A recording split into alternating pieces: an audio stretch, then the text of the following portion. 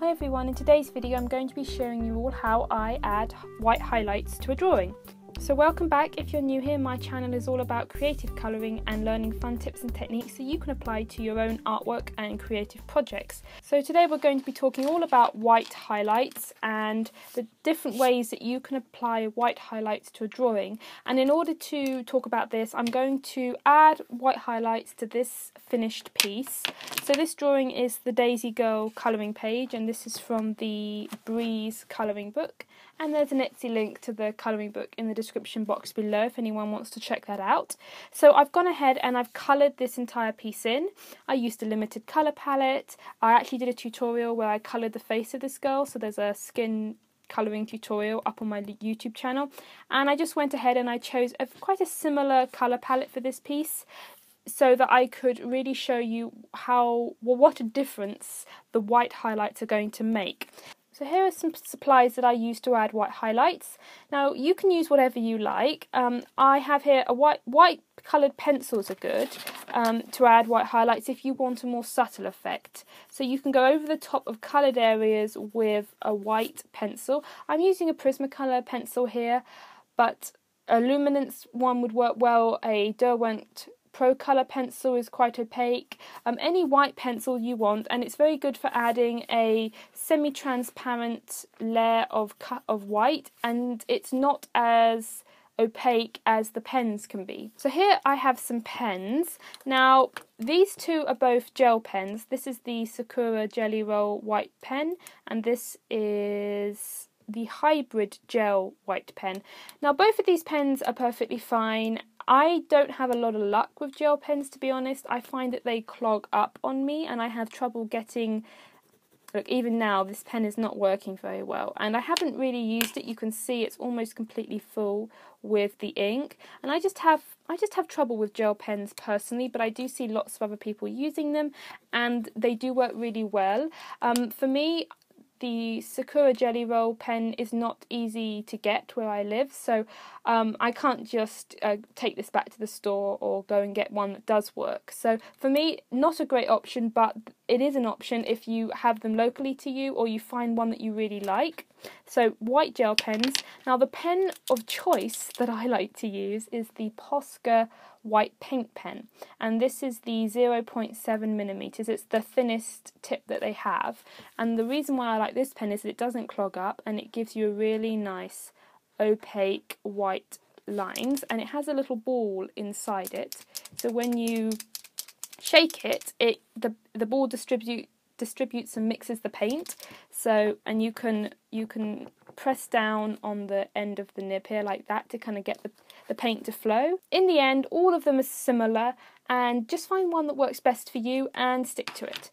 So uh, we have pens, pencils. The other thing that you could consider if you're having trouble getting a really opaque line is to use a little bit of gouache or white ac acrylic paint. I'm just going to start and walk through how I would add white highlights to this piece.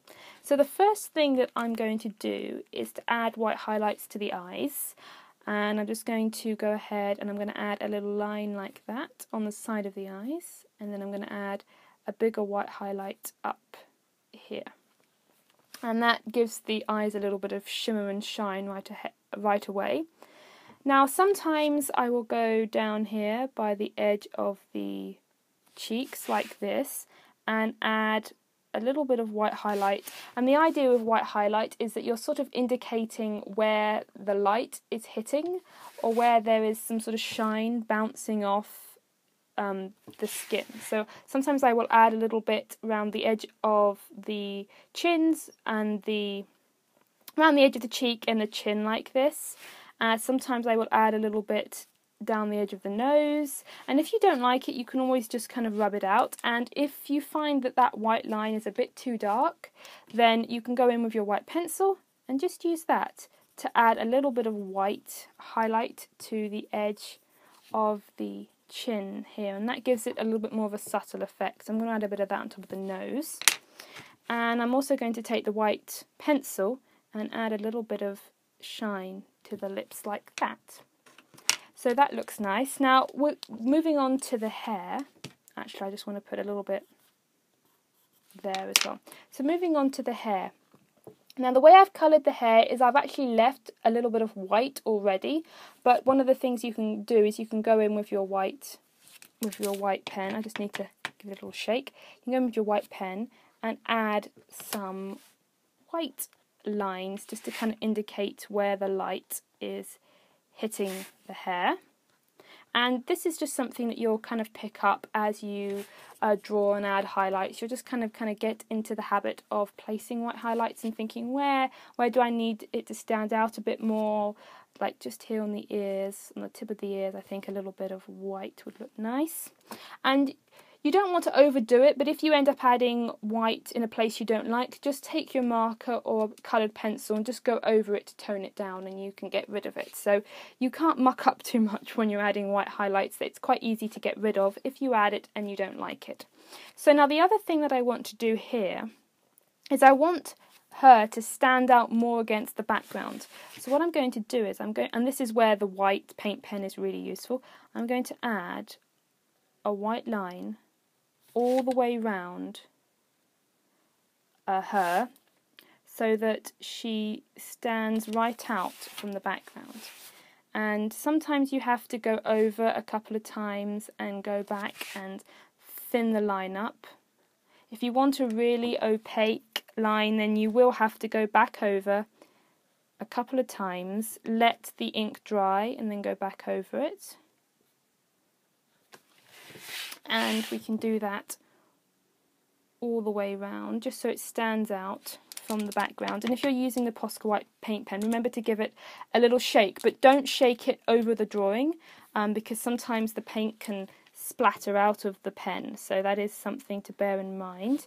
You want to give it a little shake over a scrap piece of paper just to sort of get the um, get the paint distributed inside if you're using a white gel pen, then that's not going to be an issue. And I guess that's one of the one of the uh, ways that a white gel pen is a little bit better than the paint pen. Just that you just you're not going to get the splattering so much.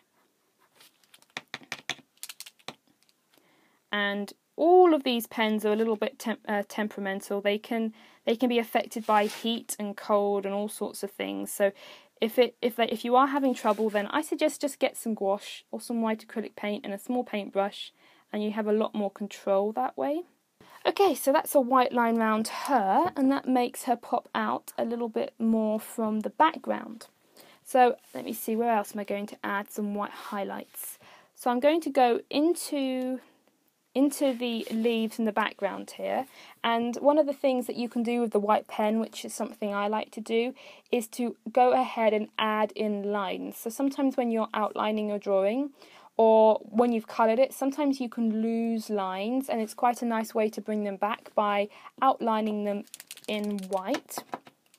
So these leaves here don't actually have any um, don't know quite what they're called actually. Now I come to think of it, these sort of the lines, the uh, the the lines in, a leaf, they don't have any lines inside the leaf shape. So I'm going to go ahead with my white pen, and I'm going to add in the lines, um, just because it gives it a really nice subtle effect against the marker colours. Right, so that adds a bit, bit more interest to the background and now I'm going to add some highlights to the flowers. Now one thing to bear in mind of course when you're working on a drawing is that less is more with white highlights as well so you want to you don't want to go too crazy now i am trying to demonstrate different sort of different ways you can use the pen so i am adding a little bit more than i may normally in this sort of drawing but um, when you're doing your own thing, it's always better to add a little bit less than too much. So you can also kind of go ahead and add a little bit of, use the white highlights, not to shade, but to add a little bit of extra extra interest to quite a plain shape. So these flowers are quite a really simple, there's not much going on in them. I haven't done any shading in them. So I'm kind of using the white highlight to add, these could be little stamens or they could even take the place of uh, where I would put a shadow. And sometimes it's fun to put white highlights in a place where you might put a shadow instead. So you kind of flip the flip the perception a little bit, and that can be very effective as well. One of the things that white highlights are good at doing is obviously adding white back into a piece.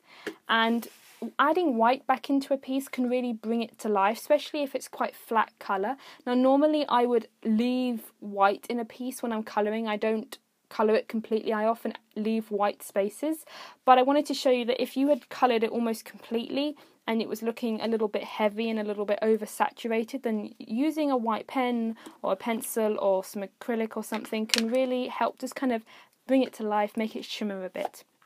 So I've done that on those darker flowers and I'm just going to add in a little bit in these ones. So another thing that you can do with a white pen is clean up mistakes. So if you've made a mistake where you've gone over the lines like I have down here, you can just go ahead in with your white pen and just kind of clean up where you may have made a smear or just kind of gone over the lines a little bit. Now, there is a limit to how effective this can be. Um, particularly if there's a very dark colour underneath. But use if you've made a mistake like that, then using a white gel pen is a very good way of cleaning up your lines.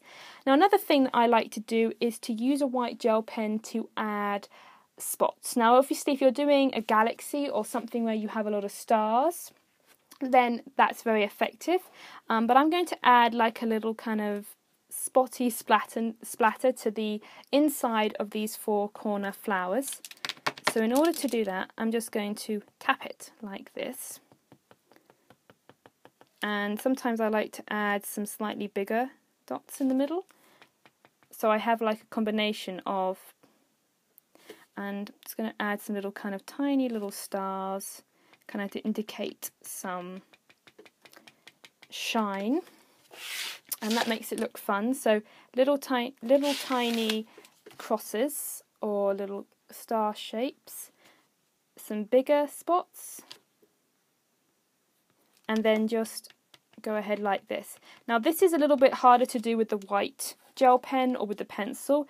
With the pencil it would make very subtle stars, but with this tip, this tip for the white Posca pen is perfect for making all these stars because you don't have to rub, you just tap down like this and it makes perfect little dots and I think this is the best pen, honestly, out of all the ones that I've tried for making stars. So if you do a lot of galaxy backgrounds or you like adding stars and dots to things, then I would definitely recommend the Posca White paint pen for that. And if you want to make, you can get the, this tip in different sizes as well. So if you wanted to have a thicker pen, or if you worked on a, a canvases that were huge and this was just going to take forever, you can use a thicker pen. So now I'm just going to, I'm going to add some little stars to the centers of these little pink ones. And you just kind of go ahead and you see you think well what what what needs a highlight? Where can I add something to bring it a little bit more to life? So the piece is all done now and that is how I add white highlights to a finished piece of artwork. And you can use the white pen to clean up mistakes, you can use it to add stars and shimmer and shine to places, you can use it to add more interest to kind of flat objects, you can use white highlights to make a piece stand out more against the background. You can use white highlights where you would have shadows to add more interest. It's just a question of adding more interest and lifting colours. Sometimes when you're colouring, if you use a lot of dark colours, it can get quite heavy, so white highlights are good for just lifting the colours. And the other thing you may want to bear in mind, it's not so... Um, it's not so needed with this piece because I'm not paying too much attention to a light source. But if you're doing a lot of shading on a piece where you have a light source coming from a certain direction, then of course the white highlights need to co correspond with the light source.